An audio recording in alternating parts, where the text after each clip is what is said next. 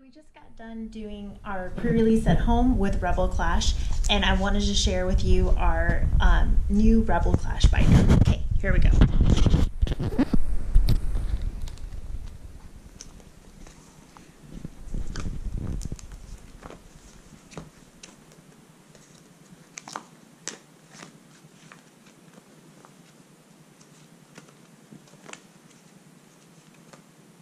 So we got a Boltund V from one of our packs.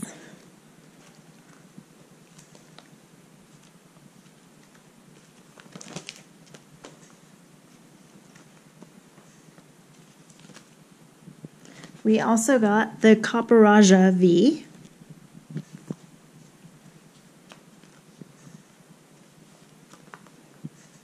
And then we got the Dragapult V Max. So that is our Rebel Clash binder on pre-release. Okay, bye.